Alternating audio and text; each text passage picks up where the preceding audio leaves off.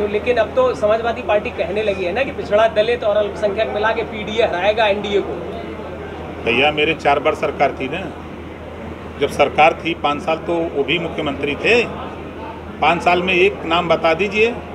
नाई का गुण का पाल का प्रजापति का कश्यप का साग का सैनी का बता दीजिए। राजभर का चौहान का बता दीजिए। आर्य कर्क बंसी बंजारा बहलिया का बता दीजिए।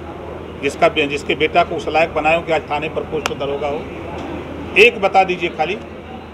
सत्ता मिली तो हमको याद नहीं। जानते हैं क्या हाल है?